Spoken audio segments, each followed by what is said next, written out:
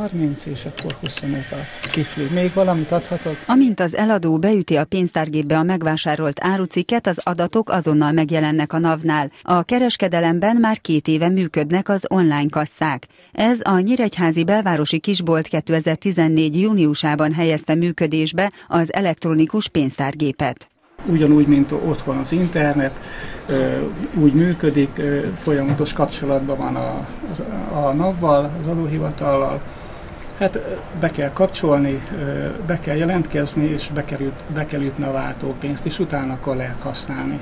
Ez így működik, este meg ugye le kell zárni, egy zárás kell csinálni. A vállalkozások a pénztárgép előnyét is látják, mint mondják tisztább, tisztességesebb piaci versenyt tesz lehetővé. Ez év szeptemberétől a szolgáltató szektorban is kiterjesztik a kötelezettséget, ezt Varga Mihály nemzetgazdasági miniszter jelentette be a múlt héten. A gépjármű alkatrész kiskereskedelmet, a motorkerékpár alkatrész kereskedelmet és javítást végzők, a plastikai sebészeti tevékenységet folytatók, a tánctermet, más szép magyar szóval diszkót működtetők, a ruházati tisztító szolgáltatást végzők, és a különböző fizikai közérzetet javító és testedzési szolgáltatásokat nyújtó vállalkozásokra fogjuk kiterjeszteni az online pénztárgépeknek a használatát. 2017. január 1-től a pénzváltókra is vonatkozik majd az új rendelet. Szabolcsatnál Bereg megyében 10.500 gép működik, megyei szinten is jelentős összeg került be az állami költségvetésbe a pénztárgépek bevezetése óta. A 2014-es áfa bevételek 3,7 milliárd forinttal növekedtek,